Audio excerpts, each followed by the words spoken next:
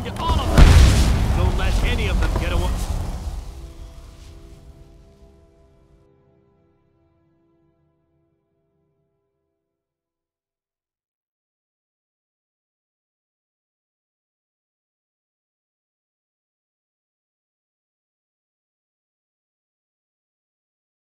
We'll secure the castle. You just get to their master.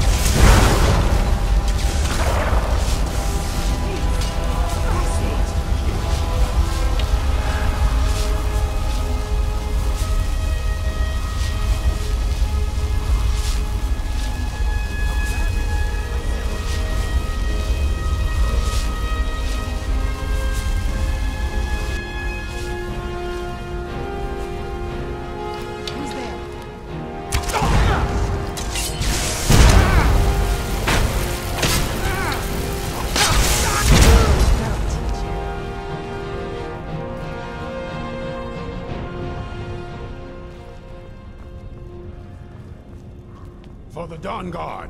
Skyrim!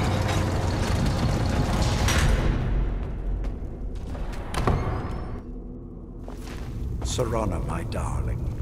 I see you still favor keeping a pet. You know why we're here. Of course I do. You disappoint me, Serana. You've taken everything I provided for you and thrown it all away for this pathetic being. Provided for me? Are you insane? You've destroyed our family. You've killed other vampires, all over some prophecy that we barely understand. No more. I'm done with you. You will not touch him. So, I see this dragon has fangs. Your voice drips with the venom of your mother's influence. How alike you've become. No. Because unlike her, I'm not afraid of you. Not anymore. And you. It appears I have you to thank for turning my daughter against me. I knew it was only a matter of time before she'd return with hatred in her heart. A small price to pay for the betterment of our kind. Yes, yes, always the noble vampire hunter. And what happens when you've slain me? Is Valerica next? Is Serana? Then my daughter is truly lost. She died the moment she accepted a mortal into her life. Yes, quite.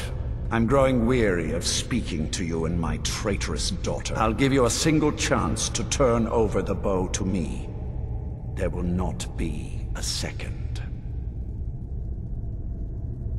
Very well, then. You leave me no choice.